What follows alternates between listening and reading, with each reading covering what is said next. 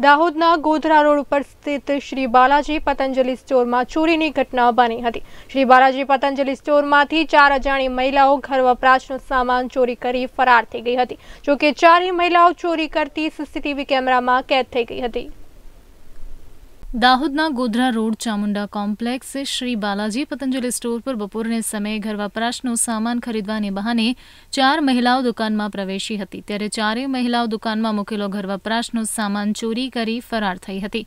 દુકાનના માલિકને આ ચારેય મહિલા પર શંકા જતા દુકાનમાં લગાડેલા સીસીટીવી ચેક કરતા દુકાનના માલિક હક્કાબક્કા થયા હતા.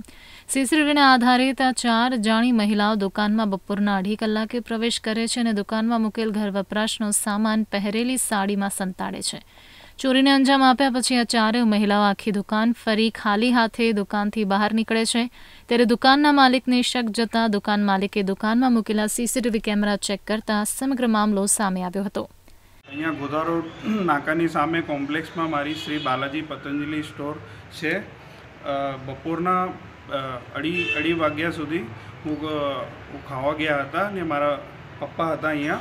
તો ચાર ચાર અજાણી લેડીઝ આવી ને બહુ સામાન મારા દુકાનમાં દુકાનમાંથી લઈ ગયા ને પછી અમે સીસીટીવી સીસીટીવી જોયા.